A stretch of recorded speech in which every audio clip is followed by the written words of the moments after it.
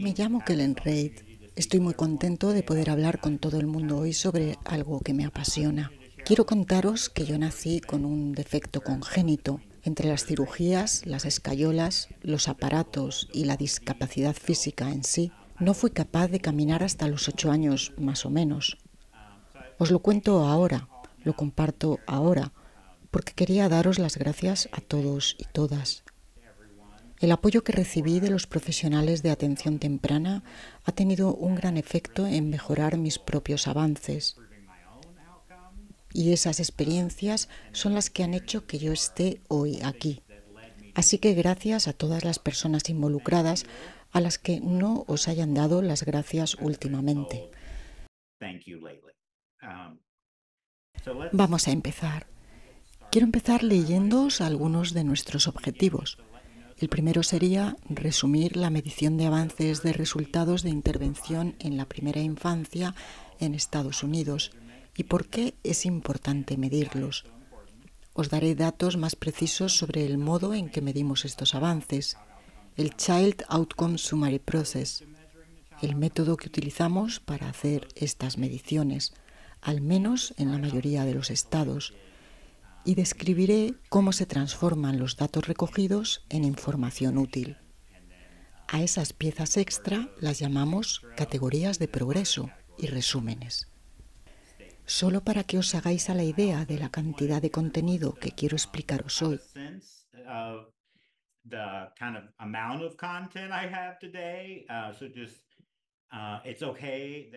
No os preocupéis, vamos a cubrir muchísimo terreno en el tiempo que tenemos.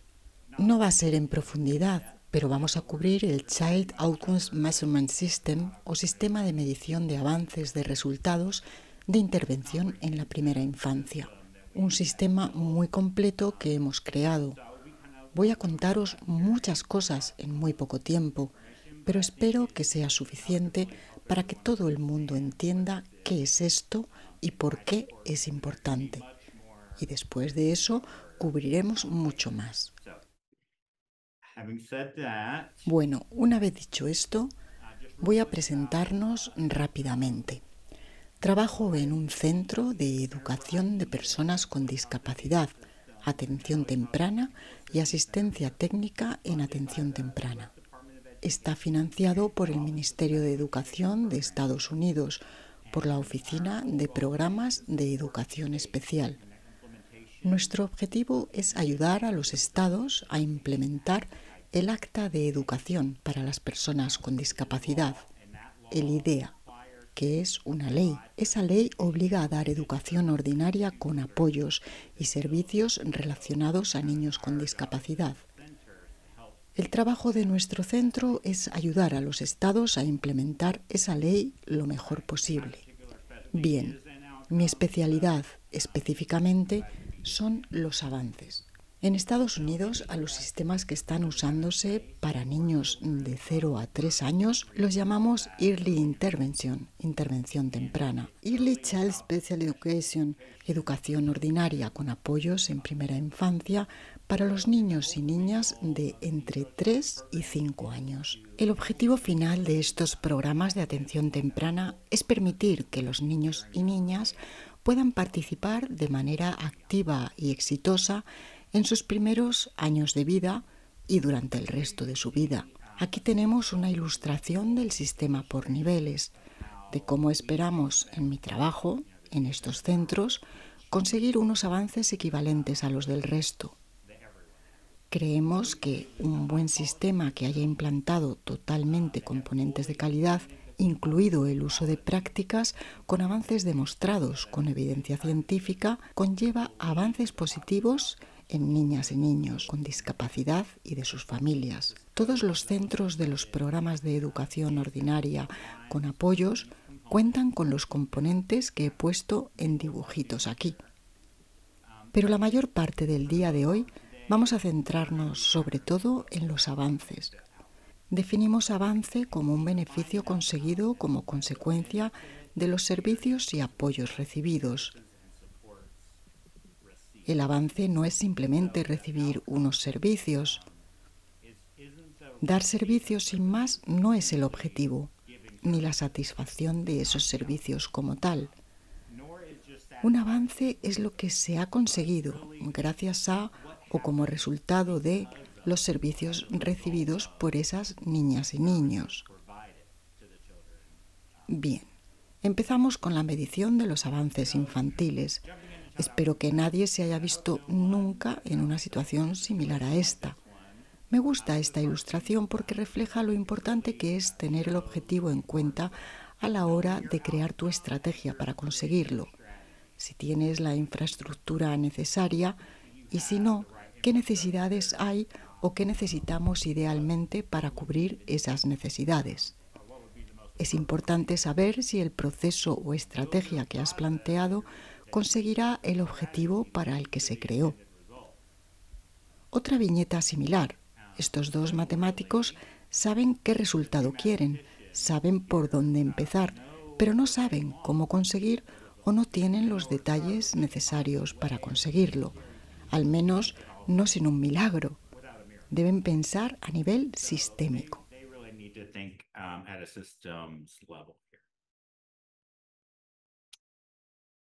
Bien, ¿por qué es importante medir los avances en la primera infancia? En Estados Unidos, cumplir los requisitos legales es un buen motivo para medir los avances en la primera infancia. Pero, aparte de eso, como los programas de 0 a 3 y de 3 a 5 años se financian con fondos públicos, creemos que la ciudadanía tiene derecho a saber que ese dinero está bien invertido. Además, tenemos una responsabilidad hacia la infancia y familias con quienes trabajamos, porque tienen derecho a recibir servicios que sean efectivos, tanto los niños y niñas como sus familias. Los datos recogidos sobre esos avances es el medio gracias al cual podemos determinar la efectividad de los servicios. Los datos recogidos sobre los avances sirven para identificar qué funciona bien, qué mejoras son necesarias y, si ya se han implementado dichas mejoras, si esa estrategia está cumpliendo su cometido o no. Además, al combinarlos con otros marcadores, los datos recogidos nos permiten comparar claramente programas entre sí o resultados dentro de un mismo programa. Un poco de contexto histórico. Al menos durante las últimas décadas hemos visto cómo ha pasado a darse más importancia a mostrar los resultados. En otras palabras, los legisladores se han dado cuenta de que solo hacer algo no es suficiente que no importa solo el número de niñas y niños atendidos o la cantidad de servicios provistos por un programa. Eso por sí solo no es suficiente para conseguir resultados positivos. Por eso se ha cambiado el foco a observar los resultados y ahora, a día de hoy, todas las agencias federales están obligadas a compartir datos de los avances en el campo en el que trabajen que han conseguido sus programas. Um, el énfasis antes estaba en darle a esos niños y niñas acceso a los servicios y ahora ha pasado a centrarse en los avances que se producen gracias a esos servicios. Después, el programa de educación OSEP usa estos datos para justificar la financiación de los programas y monitoriza qué se ha conseguido por medio de procesos de medición centrados en los resultados. Así los estados pueden usar estos datos entre otros. Ahora volveremos a esto. Bueno, vamos allá. Hablemos de tres avances infantiles diferentes. Como ya he comentado, estos datos se empezaron a recoger debido a la Ley de Responsabilidad de 2005. Para esta parte específica se estuvo recogiendo datos durante un periodo bastante largo, 18 meses, de todos los estados y de todas las partes implicadas para crear este indicador. El resultado que surgió de eso fueron los tres avances infantiles. Aquí los tenéis. Los niños y niñas tienen habilidades sociales, emocionales, positivas, incluidas relaciones sociales. Aprenden y utilizan habilidades y conocimientos y utilizan comportamientos apropiados para cubrir sus necesidades.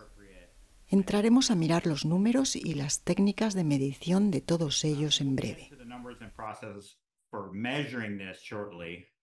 Pero antes vamos a hablar un poco más a fondo de qué conlleva cada una de esas tres categorías, en la parte en la que se estuvo investigando para crearlas y en la que se decidió cómo iban a dividirse. Una de las principales recomendaciones fue que los estados no debían informar solo de los avances sobre cuestiones evolutivas, también era importante el avance funcional, eso es para lo que se pretende que sirvan. En otras palabras, es necesario que sean globales, interseccionales y relevantes para él o la menor en el contexto de su vida diaria. Son comportamientos y capacidades integradas que ayudan a que los niños y niñas cumplan sus objetivos diarios. Vale, voy a contaros un poco más sobre cada uno de los tres avances para que veáis qué conlleva cada uno. Como comentaba, los tres avances cubren un abanico de habilidades y comportamientos funcionales que son importantes para que los niños y niñas puedan participar en sus actividades diarias. La parte evolutiva es interseccional, porque como las niñas y niños se desarrollan realmente, aprenden y prosperan, es de manera integrada. Por ejemplo, puede que salgan cosas de psicomotricidad gruesa o de comunicación en varios de los marcadores de cada avance. El abanico que comprenden todos los apartados de estos avances crean un collage o un marco para describir y medir de manera consistente las habilidades y comportamientos infantiles en todos los escenarios y situaciones. Básicamente, estas son las cosas que es importante que las niñas y niños sean capaces de hacer. Aquí os he puesto el abanico de marcadores de cada punto. Este es el de adquisición y uso de nuevos conocimientos y habilidades. Estas son las habilidades funcionales interseccionales y cómo encajan en este avance.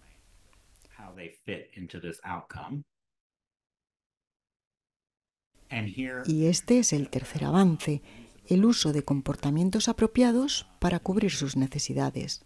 Retomando la anécdota personal que os he contado al principio, en mi situación, en mi infancia, mirando estos avances, puedo ver, y espero que vosotras y vosotros también, que esta es una forma mucho más valiosa de valorar mis avances que si se hubieran centrado probablemente solo en mi evolución motora en la amplitud de movimiento articular o en si podía doblar la rodilla hasta cierto grado, qué angulación podía lograr, ¿no? Podían mirar qué otros cambios puede estar habiendo en mi rango global de habilidades. Si miramos la parte de habilidades emocionales y sociales o de adquisición de conocimientos, quizás podríamos detectar que no podía interactuar con otros niños y niñas para jugar, que hubiera sido algo esperable con tres años.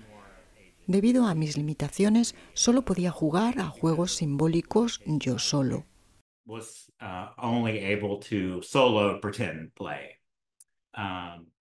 o no podía ir corriendo a buscar a mis padres, así que me echaba a llorar.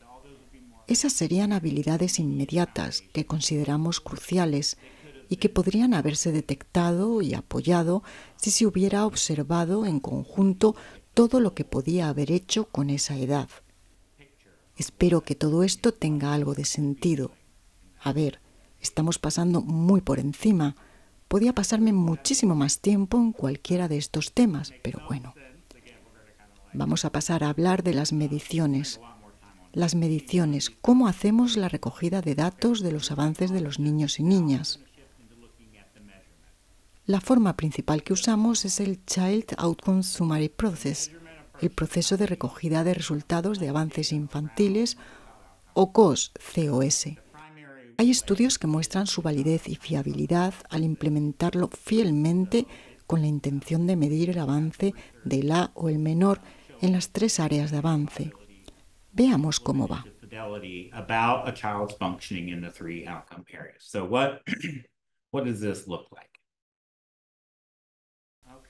Este proceso se creó para reflejar el contenido de esos tres avances y como método sistemático para que los equipos puedan resumir la información de varias fuentes sobre el funcionamiento de él o la menor. Esto es lo ideal, a nuestro parecer, porque no hay, por lo menos por ahora, ninguna herramienta de evaluación que mida estos tres avances directamente. Las prácticas recomendadas en la evaluación de la primera infancia también dicen que utilizar varias fuentes de información sobre esa niña o niño es lo recomendado. Cada programa usa herramientas y procesos de evaluación diferentes y, debido a eso, hace falta un sistema que facilite a los equipos recoger datos de diferentes procesos y herramientas de evaluación y resumirlos en una métrica común. different sources and assessment tools and be able to summarize them into a, a common metric. Este proceso se creó con ese objetivo, para cubrir esa necesidad. Permite a los programas o a los equipos resumir la información sobre las niñas y niños de todas las fuentes y diferentes personas y partiendo de su experiencia en diferentes situaciones, para que se puedan resumir los datos de todos esos programas juntos y después para comparar todos los resultados entre sí para crear una imagen nacional de cómo están funcionando los programas en todo el país. For the state to represent how the state overall is performing, and then across all the states, right? Uh, to create a, a national picture of of the how these programs are working across the nation. Este sistema permite coger las naranjas y las manzanas que hay en cada una de las regiones y zonas y poder convertirlas. Sí, convertir esa información en un único indicador.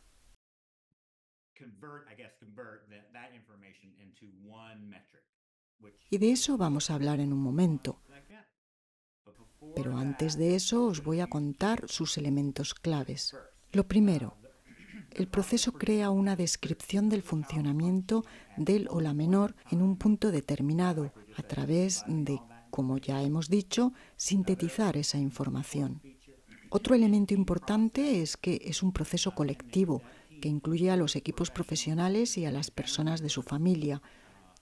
Todas las partes contribuyen en la toma de decisiones o a decidir la graduación que dar.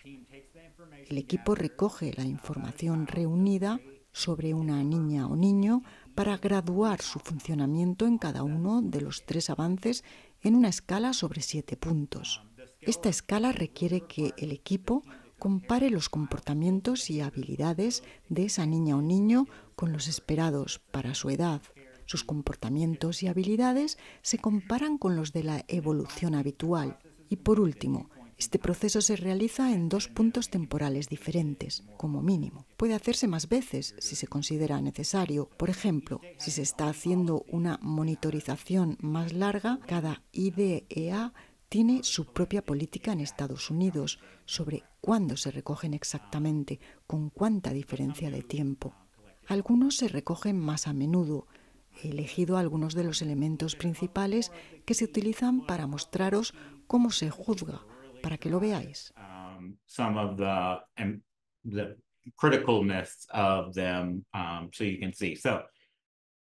Los métodos múltiples.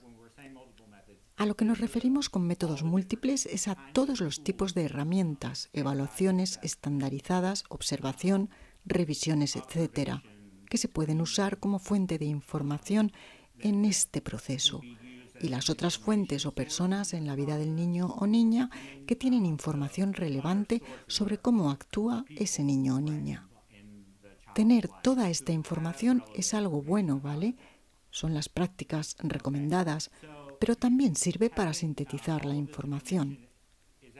El proceso COS no es una herramienta de evaluación en sí misma, solo es un proceso que se utiliza para recoger todas esas otras cosas y convertirlas en algo que puede tener un uso universal. Otro punto o elemento clave es esa escala sobre 7 grados que os he nombrado. Después de revisar y comentar cómo el niño o niña usa sus habilidades en todas las situaciones y con todas las fuentes, se elige la graduación que mejor describe su funcionamiento en cada uno de los tres avances. Cada punto de la escala tiene una definición y criterios específicos. Identificar y graduar de manera precisa requiere que el equipo compare su comportamiento y habilidades con lo esperable de otras niñas y niños de su edad.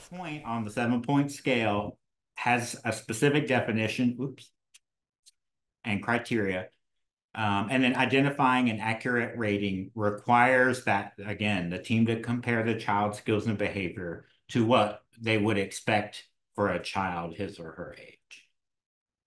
Okay, so. ¿Cómo podemos identificar estos siete puntos? Mm, veamos. Una vez más, podríamos hablar sobre esto mucho más a fondo, pero he decidido poneros el árbol de decisiones. Creo que resume bien qué significa cada uno de los grados. Siguiendo este árbol de decisiones y respondiendo a la primera pregunta, ¿se comporta en algún punto de manera esperable para su edad respecto al avance? Al que sea, al 1, al 2 o al 3, el social, de conocimiento o actuación para lograr necesidades? Si respondemos por ejemplo, ponemos que respondemos que sí. Entonces la graduación ya se limita al 4, 5, 6 o 7. Ahora, si hay algún modo en que la forma en que actúa no es la esperada para su edad, si hay algo en el abanico de habilidades que muestra avances que no son los esperables para su edad, entonces la graduación pasa a ser solo 4 o 5 y después depende de si tiene habilidades en su mayoría esperables para su edad o en su minoría. Esto es un vistazo rápido de a qué nos referimos cuando hablamos de convertir toda la información que tenemos en una graduación. Bueno, voy a dejar este tema por un momento para comentaros lo que pasa con los datos, quién hace qué medición y quién mira qué. Los servicios locales usan métodos como el proceso COS, recogen los avances de los tres tipos en cada caso y después informan de esos datos a la agencia estatal. Y después, cada año, la agencia estatal analiza los datos y envía un informe resumido al gobierno federal. El gobierno federal analiza los datos de todos los estados y da una imagen de conjunto al Congreso a niveles locales, estatales y federales. Esos datos dan información que permiten mejorar los servicios y, como veis en este gráfico, es importante que haya una retroalimentación a todos los niveles. La información siempre vuelve. Eso es clave para mejorar el programa.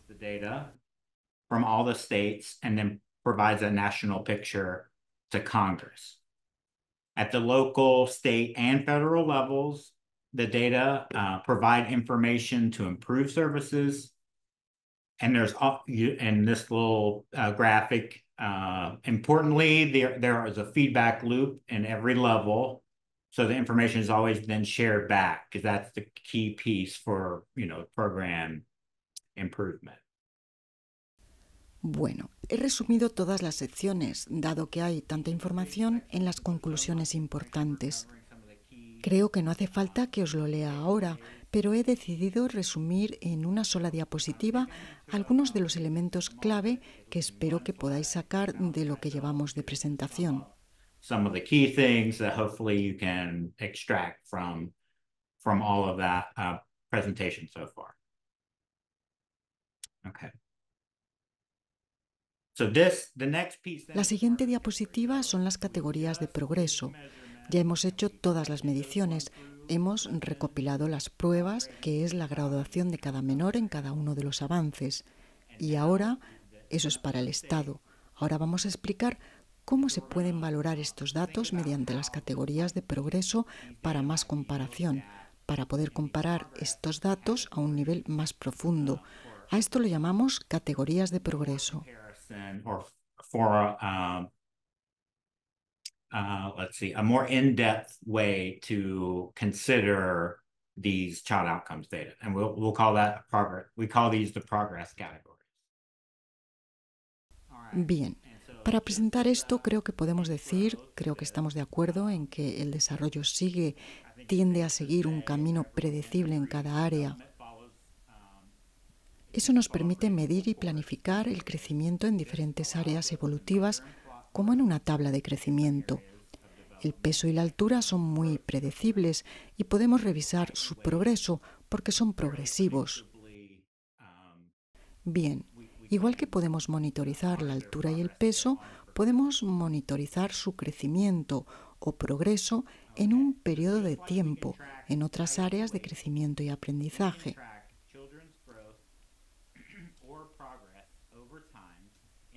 El eje horizontal aquí, el que está abajo, es la edad en meses y luego el eje vertical es el número de habilidades.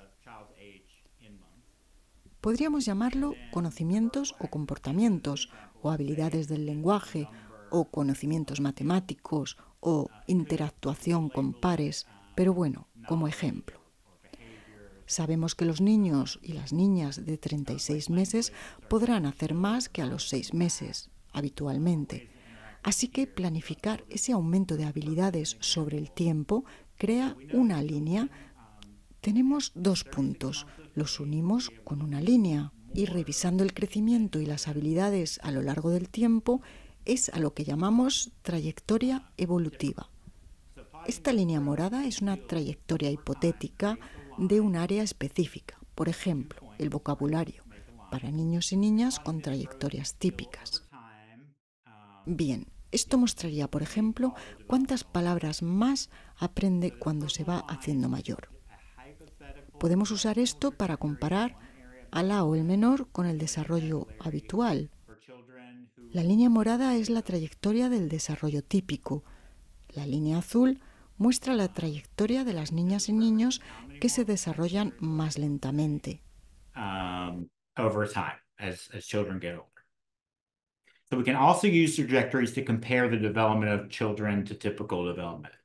So the purple line is the trajectory for typical development. The blue line shows the trajectory for children developing more slowly. Ambas líneas van ascendiendo lo que indica que quienes tienen un desarrollo típico y el grupo que se desarrolla más despacio están aprendiendo habilidades. Ambas van creciendo con la edad, pero los niños y niñas representados por la línea azul están aprendiendo nuevas habilidades más despacio. Esa es la conclusión que sacamos de esto.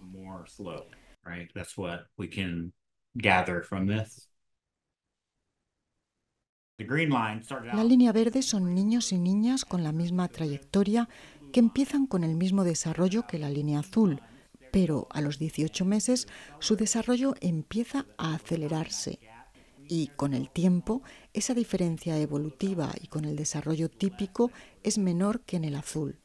O, dicho de otra manera, las niñas y niños representados por la línea verde a los 60 meses están más cerca de la línea morada de lo que hubieran estado de haber seguido la misma trayectoria que llevaban como la línea azul.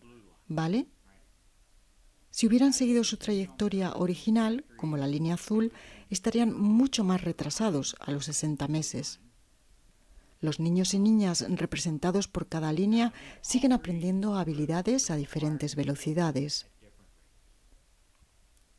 Bien, otra posibilidad, en este caso en línea gris, representa al grupo de niñas y niños que han dejado de aprender habilidades a los 12 meses. Esto es muy poco común. Porque hablamos de todas las habilidades en todas las áreas, bueno, al menos en un tipo de avance. Pero podéis imaginaros que influye muy seriamente en la adquisición de habilidades con el paso del tiempo. Vale. Bien. Esta es la base sobre cómo planteamos las categorías de progreso.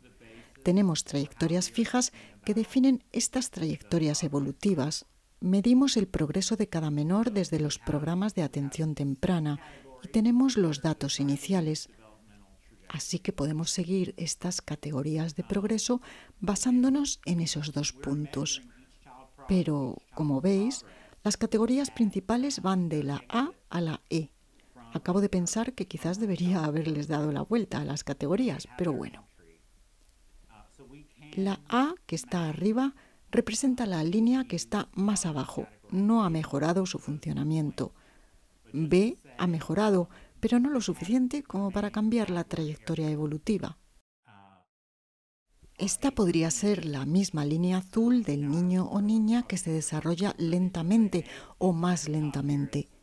C es cuando en algún punto este grupo ha empezado a acercarse más a los y las pares de su misma edad y han reducido la diferencia con E. Si llamamos E la trayectoria de los pares de su misma edad y D han mejorado su trayectoria, parecido a C, pero lo hicieron de una manera en que para cuando salieron de atención temprana salieron cumpliendo las expectativas para su edad como sus pares, con un desarrollo típico.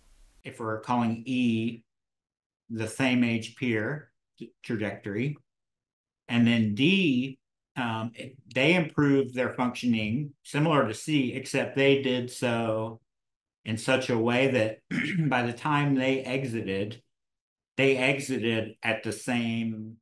¿Cómo se relaciona esto con los grados, con las graduaciones? Sería así. Tenemos un niño o niña que empieza en un 3. Sé que es muy difícil procesar toda esta información de golpe. Recordemos que un 3 es un no tiene habilidades esperables para su edad en el árbol de decisiones. Y un 6 significa que tiene todas las habilidades esperables, pero hay algunas preocupaciones. En este caso, la categoría de desarrollo sería una D. Han mejorado y han llegado a un nivel comparable con el de sus pares de la misma edad. Tenemos unas normas. Hay un cálculo para hacer una conversión. Si tienes la graduación del 1 al 7, puedes pasarla por esta calculadora y te da la categoría de progreso pero podemos ver cómo estas categorías de progreso pueden darnos aún más información o más detallada sobre el niño o niña. But you can see how this progress category gives you, you know, even more information or more description about the, the child. Okay, so again, I made a takeaway. Aquí he hecho un resumen sobre qué son las categorías de progreso. La idea es que estas diapositivas estén disponibles para vosotros y vosotras, para que podáis volver sobre ellas y leerlas. Bien, y vamos con el último, el último nivel. Las categorías de progreso pueden convertirse en información resumida.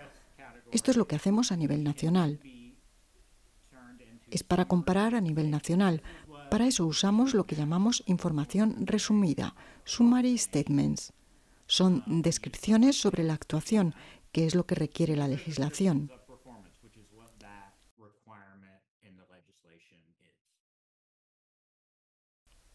Bien, esta información resumida a la que llamaremos SS por definición, repito, parte de los datos de las categorías de progreso y aquí tenéis la fórmula y demás para que podáis verla. Ese es el número de niños y niñas en cada una de esas categorías de progreso y así es como se calcularía.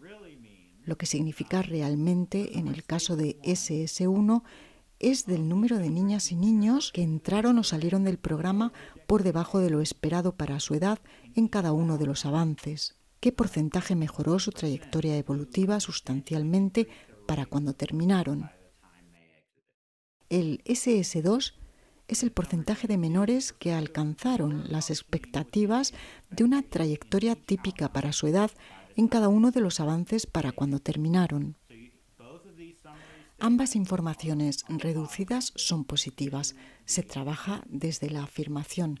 Ambas son deseables.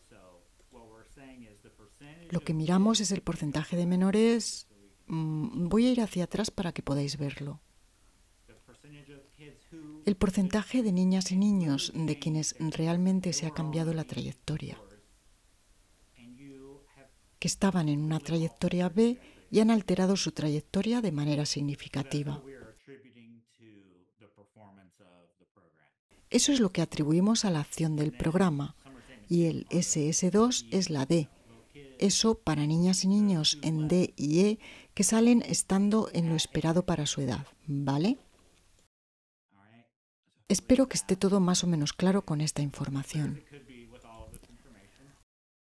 Aquí está cómo lo hacemos por si os interesa. Tenemos cada uno de los tipos de avances listados en el gráfico.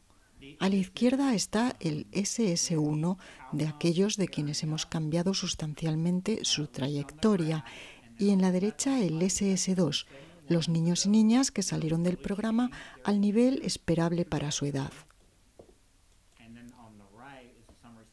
Podéis imaginar que la línea para eso está bastante alta, empezando por la izquierda en casi todos los avances.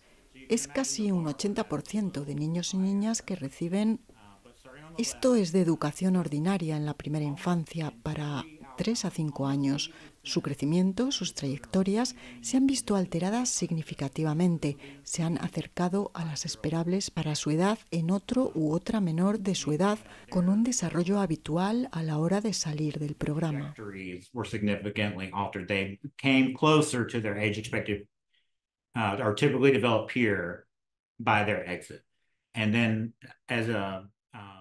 Y después, Estados Unidos en el SS2 está basado en el año escolar 2021-2022. Es un año que no son los datos más recientes, pero bueno. Entre un 50 y un 60%, dependiendo del tipo de avance, finalizaron la educación infantil al mismo nivel que sus compañeros y compañeras con un desarrollo típico.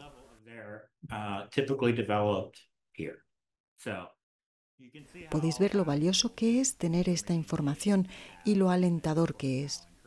Si necesitáis encontrar más información sobre quién no está consiguiendo buenos o los mejores resultados, quién lo está haciendo mejor, ahora tenéis mucha más información.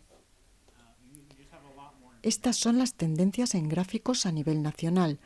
Es la misma información, solo que se muestra ordenada desde 2012 podéis ver que los resultados de SS1 se mantienen, aquellos que consiguen resultados mejores de lo esperado, pero para SS2 las niñas y niños que salen a nivel típico para su edad ha estado descendiendo ligeramente.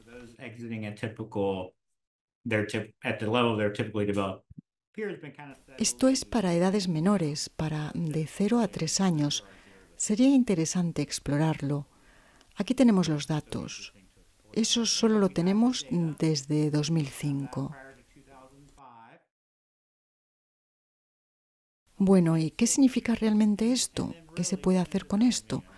Lo hemos hablado por encima, pero podemos... Ideas específicas, podemos responder preguntas. Una, como ejemplo, ¿La atención temprana es más efectiva con unas niñas y niños más que con otras? ¿Vemos mejora en los avances con el tiempo? ¿Estamos mejorando o estamos estancados? ¿Tienen resultados similares los niños y niñas con diferentes trasfondos raciales? Esta pregunta quizás sea más relevante en Estados Unidos, pero es una de las que nos hacemos. ¿Tienen mejores resultados aquellos servicios que utilizan ciertas estrategias de intervención o cierto currículum? Hay todo tipo de datos informativos que puedes sacar y observar respecto a niños y niñas con diferentes diagnósticos o los motivos por los que se los ha considerado candidatos y para ver si todos estos datos tienen sentido.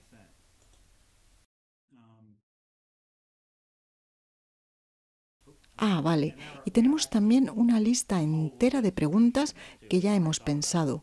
No siempre tenemos la respuesta, pero tenemos muchas preguntas. Y, por último, mi última diapositiva. Resumiendo, ¿por qué lo necesitamos? Para responder preguntas programáticas importantes como las que os acabo de mostrar, planificar y dar pruebas de la mejora de vuestro programa. En Estados Unidos es un requisito a nivel estatal y nacional para destacar ausencias y barreras. En algunos casos esto se usa como justificación para pedir financiación o recursos extra. identificar la relación entre proceso y avances, qué se está haciendo y cómo se traduce eso en avances mayores, y en general mejorar la intervención y las políticas.